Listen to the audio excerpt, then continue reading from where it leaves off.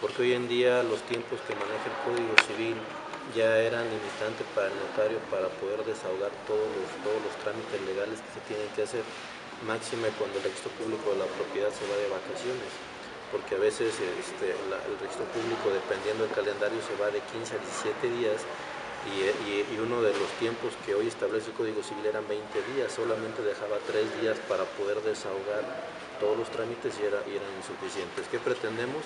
Simplemente seguir dejando los 20 días, pero que sean hábiles en vez de naturales. Ya con esto, pues los notarios tendrían un mes completo, por así decirlo, y ya no nada más dos semanas.